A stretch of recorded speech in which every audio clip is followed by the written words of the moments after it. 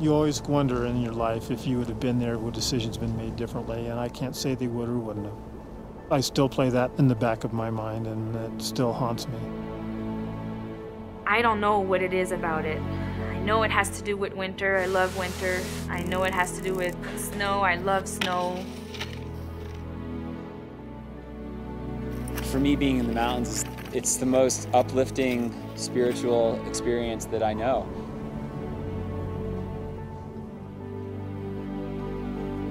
Sí he escuchado la expresión del, sueño americano.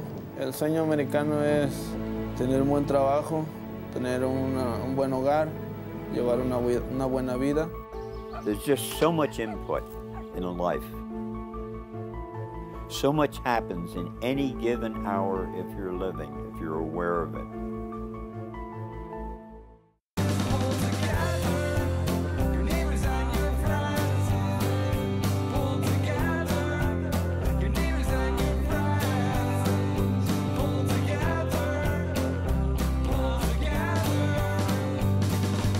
Whenever you feel like you've got it, you, something else comes at you, and you have to figure it out. The number one concept I want my kids to know is a better sense of place and uh, how lucky we are to live here.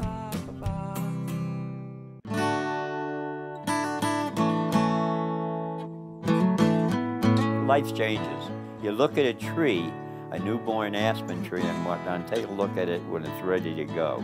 The bark and what's happened, or a leaf, it's the same stuff with us. It's no different. We're all a part of nature. We're all the same thing.